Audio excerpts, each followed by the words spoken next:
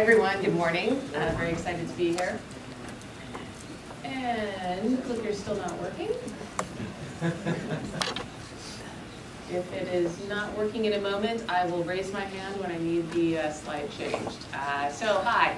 Uh, I am, uh, yes, working at Ralph Lauren, but I'm here today uh, really with my customer experience side of the brain. Um, I'm not speaking in behalf of Ralph Lauren today, and I um, will be you know, talking mostly from a more general customer experience perspective because that's, that's really my passion. Uh, and uh, regardless of whether it's screen, device, online, offline. Is this AI? Is this AI? Is this AI? Al? I think we all talk about what is AI, and there's a lot of um, definitions out there. I don't know that I find any of these particularly helpful myself. Um, they all talk about learning, intelligence, humans, being more like humans, but what does that actually mean? Should we be scared? A lot of the press right now is all about the fear, everyone watching, robots taking over. It's interesting timing with Westworld being on and sort of getting reminded of what can happen when technology gets out of control.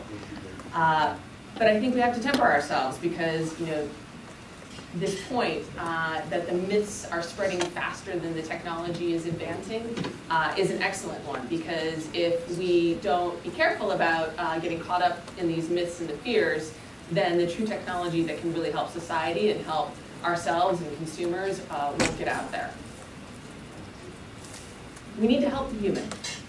That's really how I think about artificial intelligence. Uh, cognitive systems like Watson were really meant to augment human intelligence, not meant to replace us, to work side by side with us, to be our tools. Please help the human. I think many of you in this room are getting already inundated, overloaded completely with information, right? And it's coming faster and faster and faster. Big data is almost all we hear about anymore, and we're needing to be augmented. We're used to it every technology uh, that's come along has been something that has augmented us and, and helped us as humans. Think about the wheel, think about uh, the steam engine and the microprocessor. And I think that's how we need to think about AI, is, is really as something that can augment us. It, it doesn't replace us. The future is coming. Uh, I really like this perspective from the, the CEO of TaskRabbit. Uh, in five to 10 years, people will still be using phones, but it will be a much more connected world where we're doing a lot of talking to devices and machines. And they're doing a lot of background fulfilling of chores and tasks so that we can live our lives. Doesn't that sound amazing? Future's actually here. And I think that's where the myths and the fear come from. Uh, we've got drones now that are smart and can kill on their own. Uh, the Pentagon is, and, and other, I'm sure, countries throughout the world, AI is the centerpiece of their strategy. The future's here. It's not coming in the future, it's now, and we need to be ready for it. Should we care? We can't be ostriches with our heads in the sand. I like Andrew Ng's perspective currently at Baidu Research, the, the huge Chinese search engine. Uh, founder of Google Brain, relying, thinking about it like the way the internet came around, where a lot of heads of companies really, you know, thought that they, you know, wished that they had uh, considered the internet sooner. And he says, I think five years from now, there'll be a number of S&P 500 CEOs that will wish they had started thinking earlier about their IA strategy. So I've been talking about customer experience for quite a long time. Uh, four years ago, next slide please, I said, digital and physical are colliding. This is the exact slide I used. It's funny when you look at it now, look at how old that uh, iPad over there on the bottom left looks. All of these technologies, these are all past. At the time when I gave this presentation back then, these were exciting new things that I was you know, talking about. But the thing is, the collision has happened. Like I said, it's not the future anymore. We're here. Next slide. Oh boy.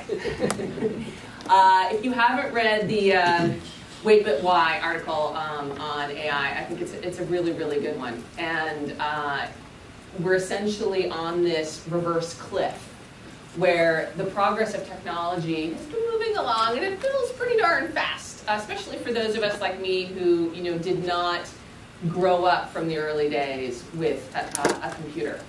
Uh, it's about to spike. We are right there. And so, again, we need to be prepared. Uh, so now what? What do we do to prepare? Well, I'll talk briefly about eight tips for creating AI experiences. AI experiences that fundamentally help all of us businesses, society, humans, the world. The first tip is to focus on the humans. This is the most important thing in order to keep us in control and designing the right things that will benefit everyone. Thinking about what AI can do for us, first and foremost, uh, is, is a good way to start.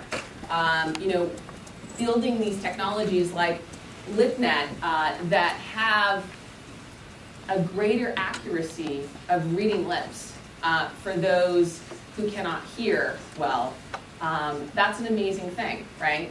And it learns along the way so that you know you have something that's, as we talked earlier, augmenting our capabilities, helping us. Similarly, the Horus technology, which uh, looks at the world for someone who has sight problems and describes what's around them uh, in their ear. These are the ways I believe that we should start fundamentally thinking about AI. How can it help the humans? There's a lot of concern about automation and jobs going away with AI. And again, I think this is where augmentation is the way to think about it. Uh, because you know, combining our intelligence, combining our emotional intelligence and our decision-making abilities with smart machines, that's really the better strategy than automation. This is also from the uh, CEO of TaskRabbit. It's really hard to turn a human being into a machine because people aren't machines the true specialized services that people need to provide will still continue to be provided in a very flexible way as part of what we call today the sharing economy.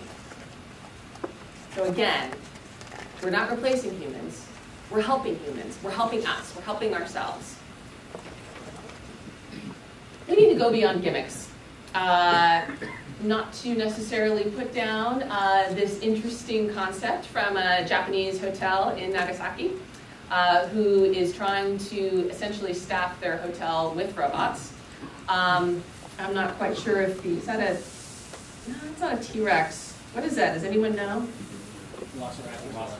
Velociraptor, thank you very much. Uh, it's interesting, and, and, she actually, you can kind of tell if you look closely, she's also a robot.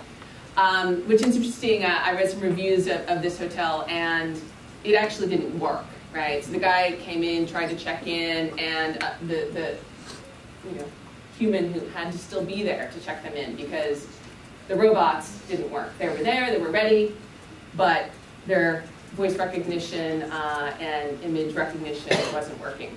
So we have to be really careful about gimmicks. Next slide, please. Is this better? Uh, this is the Radisson Blu Hotel. Um, also thinking about robots for helping their customers. Uh, this one, you can text the robot, and unfortunately, he doesn't actually bring you what's needed, uh, but he does alert someone who will bring you something that's needed.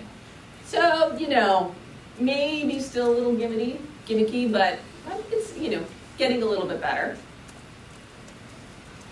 I think this is an interesting uh, perspective from Gartner. By 2020, the customer will manage 85% of their relationship with an enterprise without interacting with a human. So, you know, I'm poking a little bit of fun at these hotels, but they're trying to hit this future that is coming, that is coming really soon, that is here. Uh, and they're thinking ahead. But really, I think the way to do that, next slide please, is starting with what's useful. User experience, people talk about usability. You know, what's, what's useful, uh, utility, uh, certainly as well as emotion, but I think the bottom line of starting with things that can help you. Uh, this is a startup uh, called Ava that you know allows you to use image recognition to take a picture of whatever it is you're eating, and then um, has a massive database of all of the calories uh, and nutritional information of the food on your plate, regardless of what it is. So you know that, that's something I almost don't want to become available to me because I think I might become a little obsessed. But you know, it's it's actually a pretty simple and useful to many people idea. Process improvements, I think, are a huge one. Um, I was really fascinated to hear about um, this AI program uh, developed that has been uh, proven capable of predicting the outcome of human rights trials with 79% accuracy. That's fascinating to me. That's the power of being able to grab all of this massive amount of data that no human could consume, uh, just consume, let alone analyze and come up with insights on.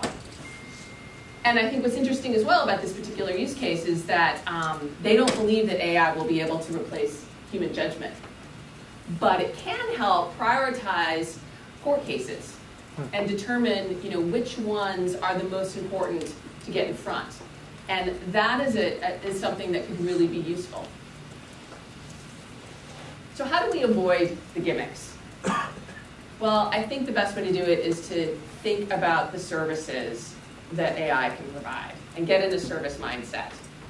Visual listening uh, is something that's definitely you know out there, and people are using this right now uh, as a service for businesses. Being able to understand what your customers are saying about you, uh, not just in a textual way, but in a visual way. Uh, I think that dog is smiling and is therefore happy about that Sierra Nevada. It's a little hard to tell though. Providing help.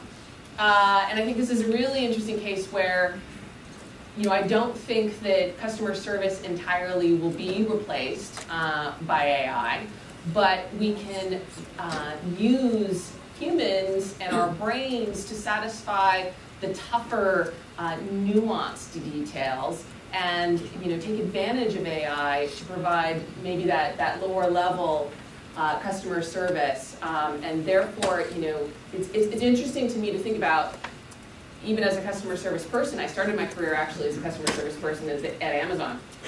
And you get, you know, I swear nine out of 10 or maybe, maybe even, you know, 95 out of 100 calls were all the same. Where's my stuff? Where's my stuff? Can I do a return? Where's my stuff? And it got really, really boring. But it was actually super, super fun when that one lone person called with an interesting challenge or an interesting question or an interesting problem for me to solve. And I really actually loved my job at that point. And, you know, I was a customer service rep. So think about that. You know, think about how we can, uh, you know, again, instead of true automation, augmentation, we can have things like chatbots help from a, you know, customer service uh, perspective at the lower levels, if you will, and allowing the humans then to really shine and really have, you know, have fun and, and show their, their intelligence in, in the best possible ways. Next slide, please. Easing interactions, too, I think is, is a great area to consider. Um, this is Melody, um, created by Baidu Research. And, you know, I like their perspective. Um, they want to provide patients with an online experience that is close to a human conversation. We believe this natural type of interaction will help patients feel more comfortable with their doctors. The thing that struck me as I was thinking about this particular example is that how many of us don't even like to go to the doctor, don't like to contact the doctor, don't want to talk to the doctor, might be fear, we might be a little intimidated. Think of how much faster many of us would ask a question digitally, especially if we're going to get a smart response. Uh, and you know, I start to think about what that does from a preventative care standpoint.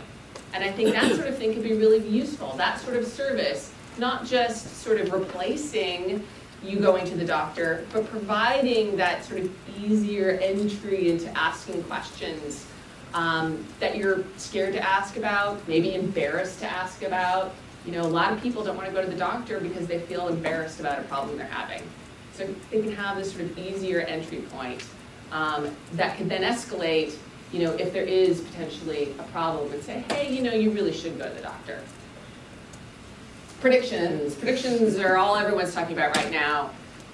You know, whether or not um, Amazon provides its, you know, drone-delivered uh, predictive shipping in the near future, you know, there's obviously lots and lots of predictive analytics happening right now. Uh, predictive messaging, um, you know, predicting trends and creating products based on those trends, predictive fraud alerts, maintenance, hiring, the list goes on and on. And I think it's interesting um, in this one study, 72% of US millennials believe that as technology develops, brands will be able to accurately predict what products they want. So that means that at least the younger generation, if you will, um, seems to be pretty ready for this idea of, of predictive intelligence and getting things maybe even before they thought they wanted them. Or it could just be entertainment. This is my husband. The other night, uh, he came home. We have an Alexa, and he came home and he said, I'm not quite sure why. He came home and he said, Alexa, put on your red shoes and dance with me. And what was interesting is that literally that song started playing. And I've decided it's an Easter egg because we spent the next three or four hours quoting song lyrics to Alexa, and not a single one hit the song. Yeah. Alexa just either kept saying, I don't understand your question, or it made that little sound noise that it makes when for some reason it's tired of you and, and uh, you know sick of you. I, I guess the uh, AI itself not working or the voice uh, recognition not working was entertainment of itself. But I have to say, it was it was pretty fun when he came home because he just talks to Alexa, you know, I don't know, expecting what she's going to say back to him, uh, maybe so that he doesn't have to talk to me. But uh, you know, it, it, was a, it was a bit, it was that moment of surprise and delight when she just started playing the song that he was talking about. Next slide. So the next thing we have to do is, you know, get off our butt uh, and think about these technologies. Next slide. Uh, think about how do we use our fridge. This is, you know, we shouldn't be sitting in front of our screens. We should be uh, using transportation um, and thinking about, you know, in order to build these experiences, get out there and start physically doing things and thinking about how things can help. We also need to tell the story. Next slide. Close your eyes. Think about what AI can do. I had a story to read for you, but we started a little late, and so I will let you instead imagine what AI can do for you. Telling that story and thinking about how it can help you um, and how it can help everyone is a great way to really think about how it can uh, positively impact you. Be careful to not view it as a prediction though, because those often don't go well.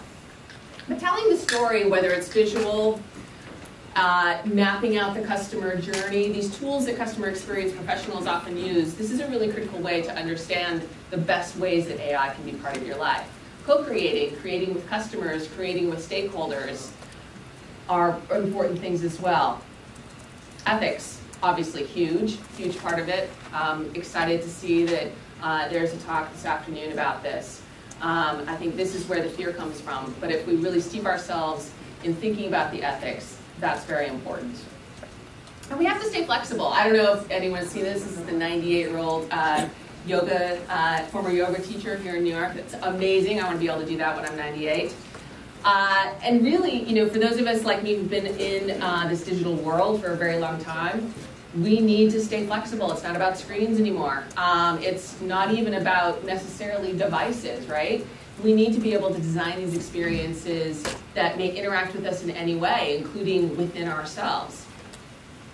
And finally, we need to remember the big picture. This will change retail. This is the uh, North Face Watson Empowered tool. Um, and uh, the, the head of uh, Digital at North Face says this is unprecedented. We think this is game changing.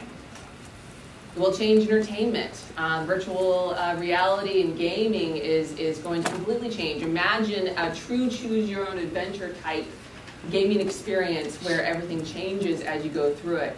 As we all know, this is already changing medicine in terms of being able to uh, recognize patterns on x-rays faster and more efficiently than any human could. This will change education. Uh, Sesame Street is, is already working with Watson, and, and Bill Gates is super passionate and has talked a lot about where AI can help. It will change cities. Uh, starting already, you know, smart stoplights, smart garbage trucks, smart streets, smart parking. It'll change war. This one I think is interesting. The DARPA agency has funded projects that involve implanting chips into soldiers' brains that could one day enhance performance on the battlefield. They were quick to say they haven't done it yet, but they're thinking about it. So I think as we all know, that's why we're here today, this will change the world. And while there's a potential to abuse these technologies, we shouldn't let that scare us. We should be thinking about how they can help us help the human uh, so that we can really truly leverage technology. These are the eight tips that I spoke about. Thanks very much.